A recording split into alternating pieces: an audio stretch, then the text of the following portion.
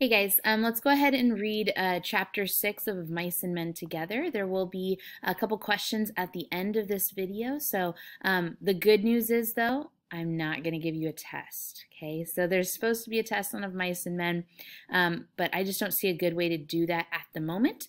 Um, and so until I, you know, have a little more time to think through how I'm going to do tests and such, um, we're just not going to have one. So lucky you guys. Um, we're will uh, I like I said, you will have a question or two to answer at the end, and I will be kind of treating them like test questions, if that makes sense. And I'll want you to actually answer them, um, and I'll be grading you for correctness. So there you go. I guess that's your test, but it's it should be pretty simple, pretty easy. So um, if you have your books, you can get it out, or um, I'm going to go ahead and project the um, uh, a PDF of the of the pages that we're going to be reading. So chapter six isn't that long. Let's go ahead and get started. Okay, where we left off in chapter five, um, Lennie unfortunately had killed um, killed Curly's wife.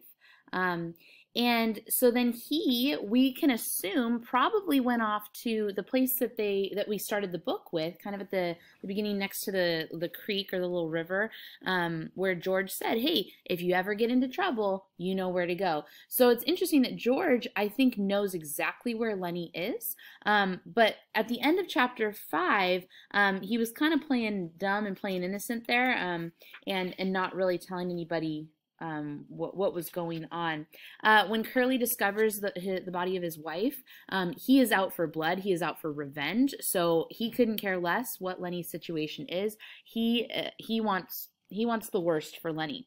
Um, George obviously doesn't want that. Um, he even asks uh, Slim, couldn't we maybe bring him in and they'll lock him up?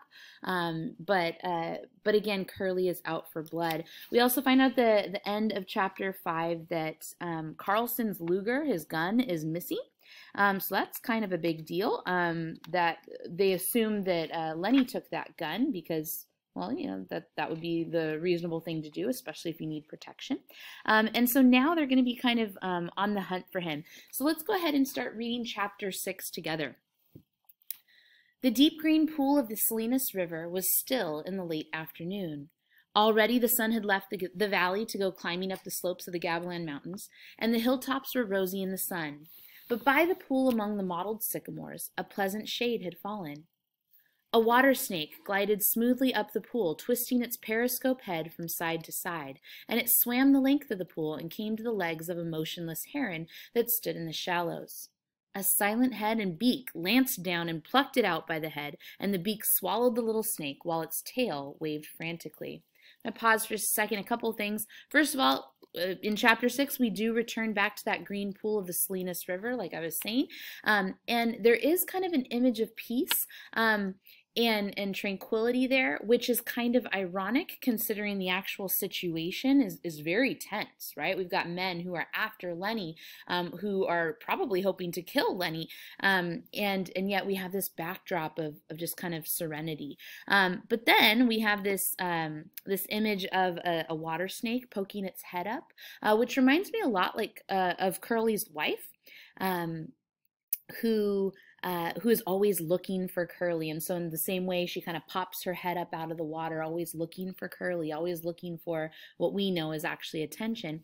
But then also notice that um, a silent head and beak lanced down and plucked it out by the head, and the beak swallowed the little snake while its tail waved frantically. I think that's just a, a um, uh, an echo of what had just happened to Curly's wife, right? Let's keep going. A far rush of wind sounded, and a gust drove through the tops of the trees like a wave. The sycamore leaves turned up their silver sides, the brown, dry leaves on the ground scudded a few feet, and row on row of tiny wind waves flowed up the, the pool's green surface. As quickly as it had come, the wind died and the clearing was quiet again. The heron stood in the shallows, motionless and waiting. Another little water snake swam up the pool, turning its periscope head from side to side. Suddenly Lennie appeared out of the brush, and he came as silently as a creeping bear moves. The heron pounded the air with its wings, jacked itself clear of the water, and flew off downriver. The little snake slid in among the reeds at the pool's side. Lennie came quietly to the pool's edge. He knelt down and drank, barely touching his lips to the water. When a little bird skittered over the dry leaves behind him, his head jerked up and he strained toward the sound with his eyes and ears until he saw the bird and then he dropped his head and drank again. When he finished, he sat down on the bank with his side to the pool so that he could watch the trail's entrance. He embraced his knees and laid his chin down on his knees. The light climbed on out of the valley, and as it went, the tops of the mountains seemed to blaze with increasing brightness.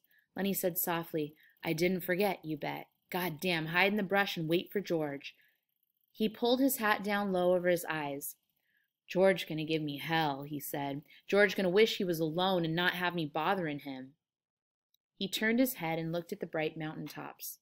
I can go right off there and find a cave, he said, and he continued sadly, and never have no catch up. But I won't care. If George don't want me, I'll go away. I'll go away. It's really quite a, a, sad part, but remember at the beginning in chapter one, we learned that um, Lennie really, really wants George's approval, and um, he knows he's done a very, very bad thing. He knows that George is going to be disappointed in him, um, and so uh, I love that he starts practicing his kind of um, uh, his manipulative routine there of, oh well, I'll go off and find a cave. And then from out of Lennie's head there came a little fat old woman she wore thick bullseye glasses, and she wore a huge gingham apron with pockets, and she was starched and clean. She stood in front of Lennie and put her hands on her hips, and she frowned disapprovingly at him. And when she spoke, it was in Lennie's voice. I told you and told you, she said. I told you, mind George, because he's such a nice fellow and good to you. But you don't never take no care. You do bad things. And Lennie answered her, I tried, Aunt Clara, ma'am. I tried and tried. I couldn't help it. You never give a thought to George, she went on in Lennie's voice. He'd been doing nice things for you all the time. When he got a piece of pie, you always got half or more than half. And if they was any ketchup, why, he'd give it all to you. I know, said Lennie miserably. I tried, Aunt Clara, ma'am. I tried and tried. She interrupted him. All the time, he could have had such a good time if it wasn't for you. He would have took his pay and raised hell in a whorehouse, and he could have set in a pool room and played snooker, but he got to take care of you. Lennie moaned with grief. I know, Aunt Clara, ma'am. I'll go right off in the hills, and I'll find a cave, and I'll live there, so I won't be no more trouble to George. Well, you just say that, she said sharply. You're always saying that, and you know, son of a bitch and well, you ain't never going to do it. You'll just stick around and stew the bejesus out of George all the time. Lennie said, I might just as well go away. George ain't going to let me tend no rabbits now. I'm going to pause real quick. I want to make it clear that Aunt Clara is not really here. Notice when it started this section, it says, um, out of Lennie's head, there came a little fat old woman. Um, so Lennie is imagining this. Um, and the fact that it is coming from his own head is kind of significant because based on what his Aunt Clara is telling him in his head, we find out how Lennie is feeling. And I put that over here on the right hand side that he feels guilty. He is scolding himself in the voice of his Aunt Clara, right? So it's very, very clear that um, that he knows how much George has done for him and he feels incredibly guilty because he is literally scolding himself. Okay. Um, over here, uh, again, this is something that George had said earlier all the time. I could have had a good time if it wasn't for you. But now Lennie is telling it to himself and he's really telling himself that he really isn't worth anything um, that he isn't worth George's time. Let's keep going uh, because the hallucinations are not over. Aunt Clara was gone, and from out of Lennie's head there came a gigantic rabbit. It sat on its haunches in front of him, and it waggled its ears and crinkled its nose at him. And it spoke in Lennie's voice, too. Tend rabbits, it said scornfully. You crazy bastard, you ain't fit to lick the boots of no rabbit. You'd forget him and let him go hungry, that's what you'd do. And then what would George think? I would not forget, Lennie said loudly. The hell you wouldn't, said the rabbit. You ain't worth a greased jackpin to ram you into hell. Christ knows George done everything he could to jack you out of the sewer, but it don't do no good. If you think George gonna let you tend rabbits, you're even crazier than usual. He ain't. He gonna beat hell out of you with a stick. That's what he's gonna do. Now Lennie retorted belligerently. He ain't neither. George won't do nothing like that. I've knew George since I forgot when, and he ain't never raised his hand to me with a stick. He's nice to me. He ain't gonna be mean. Well, he's sick of you, said the rabbit. He's gonna beat the hell out of you and then go away and leave you. He won't, Lennie cried frantically. He won't do nothing like that. I know George. Me and him travels together. But the rabbit repeated softly over and over, He gonna leave you, you crazy bastard. He gonna leave you all alone. He gonna leave you, you crazy bastard. Lennie put his hands over his ears. He ain't, I tell ya, he ain't. And he cried, Oh, George, George, George. Okay, so once again, I'm not going to explain this too much, but um, the the rabbit is coming out of his head, this gigantic rabbit, um, and the things that the rabbit is telling um, Lennie, those are the things that Lennie is telling himself. He's telling himself that he's dumb and incapable and and worthless, right? He really feels badly this time, and that he's you know worth leaving. Um, yeah, he's going over his grades fear. Okay, um, down here, let's continue on. George came quietly out of the brush, and the rabbit scuttled back into Lennie's brain. George said quietly, What the hell are you yelling about? Lennie got up on his knees. You ain't gonna leave me, are you, George? I know you ain't. George came stiffly near and sat down beside him. No. I knowed it, Lennie cried. You ain't that kind. George was silent. Lennie said, George? Yeah. I done another bad thing. It don't make no difference, George said, and he fell silent again. Only the topmost ridges were in the sun now. The shadow in the valley was blue and soft. From the distance came the sound of men shouting to one another. George turned his head and listened to the shouts. Lennie said, George? Yeah. Well, ain't you to give me hell? Give you hell?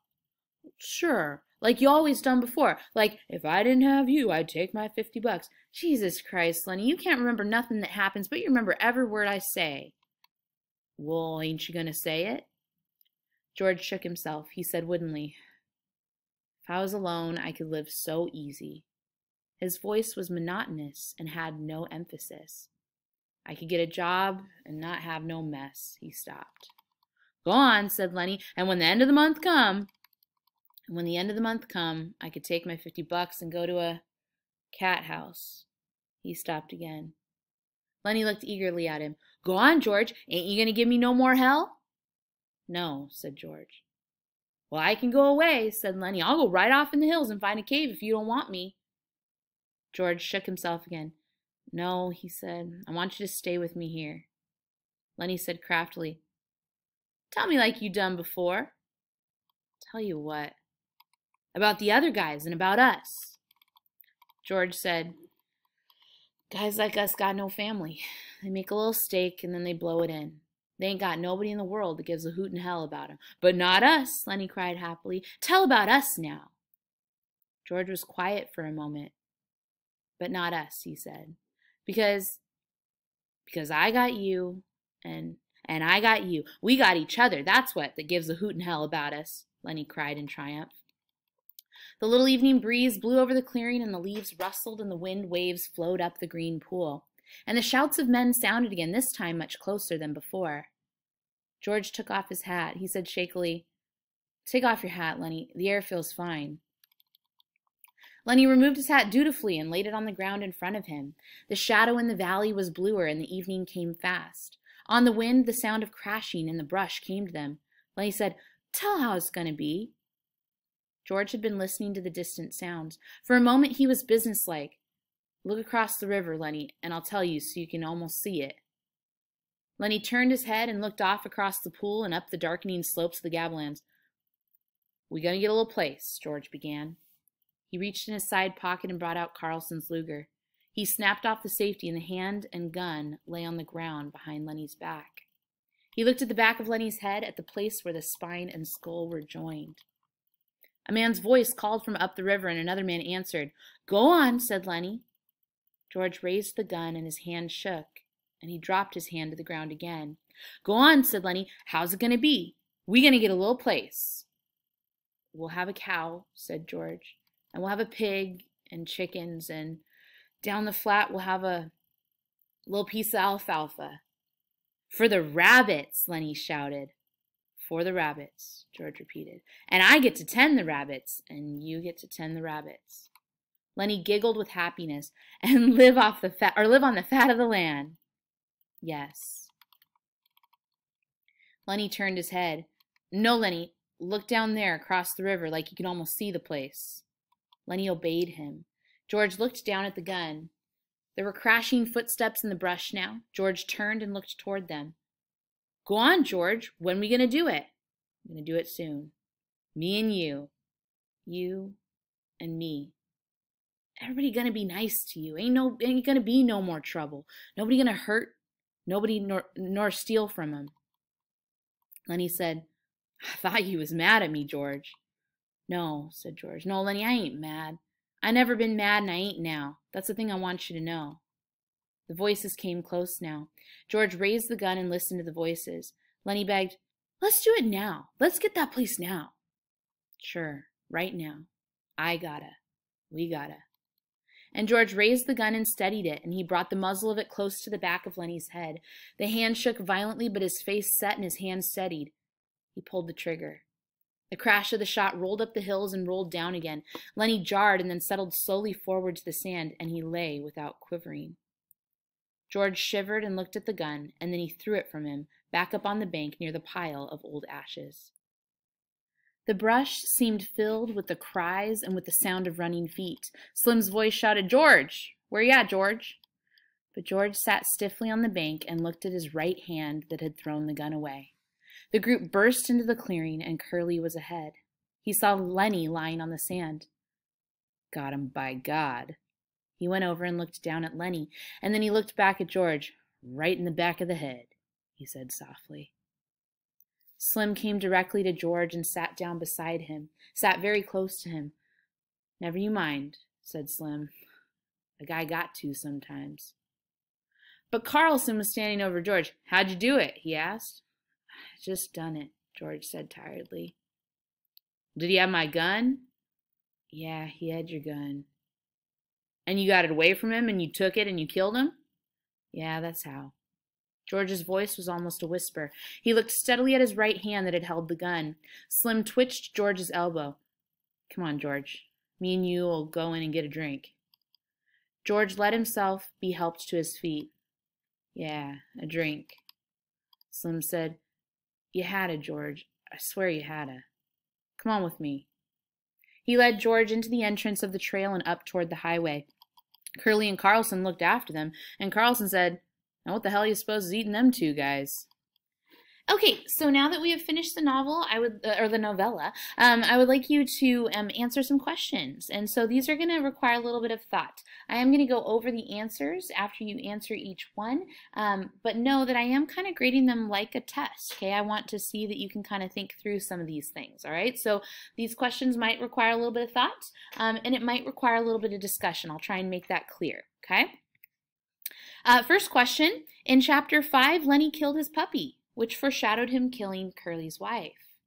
What event foreshadowed the ending or Lennie's death? So, what event in the novel, in a lot of ways, is similar to Lennie's death that happened beforehand?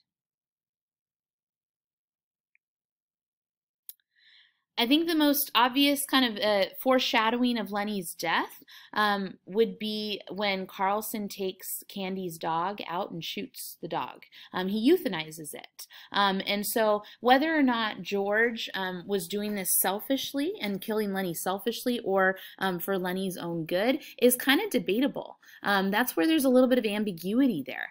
because the truth is, Lennie had become a burden upon George. And in the same way that Candy Candy's dog was becoming a burden to both Candy and um, and the rest of the guys, um, Lennie had become quite a big burden on George, and um, so he may or may not have have actually done it kind of selfishly to relieve himself of that. Now, of course, that was difficult, just like, um, you know, Candy letting go of his dog was very, very difficult because he lost a friend, right? He lost a companion. And so it was a big deal. Um, but in some ways, I think there was a release or, a relief, a relief uh, there. Okay.